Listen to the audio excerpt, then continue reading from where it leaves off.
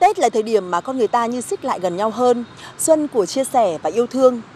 Gói bánh trưng xanh cùng người nghèo ăn Tết là một chương trình được lan tỏa khắp mọi miền đất nước, từ những làng quê cho tới các trường học.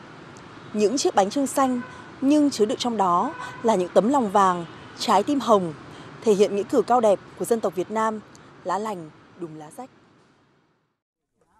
Trước đó, một chương trình khác tương tự là tấm bánh nghĩa tình thu hút sự tham gia của đông đảo sinh viên Đại học Đại Nam cũng đã diễn ra. Hơn 1.000 chiếc bánh trưng các bạn trẻ tự tay gói được gửi tới các cơ sở bảo trợ xã hội như Trung tâm nuôi dưỡng trẻ em khuyết tật, Trung tâm chăm sóc trẻ mồ côi, Hội người mù, trại thương binh.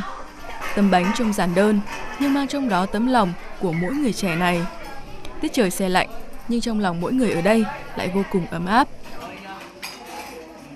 thực sự các bạn sinh viên đã có những cái tấm lòng ờ, rộng mở và ờ, hướng về cộng đồng giúp những trẻ em thiệt thòi tôi cho là những cái ờ, có tình người tính nhân văn rất cao cả. Hơn 5 năm qua, tấm bánh nghĩa tình của sinh viên đã đến với nhiều người có hoàn cảnh khó khăn, người già neo đơn. Mỗi dịp Tết đến xuân sang, các thế hệ sinh viên tiếp nối, truyền lửa cho nhau, gói những chiếc bánh, gói tấm chân tình của tuổi trẻ. À, thật ra thì là em là con trai. Chắc chắn là chúng tôi sẽ tiếp tục duy trì.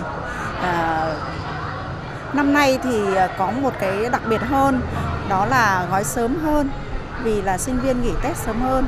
Đấy, cho nên cái sự chuẩn bị thì nó cũng được chu đáo hơn.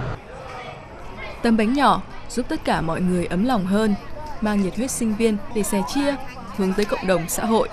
Đó hẳn là bài học quý giá nhất mà mỗi sinh viên này học được.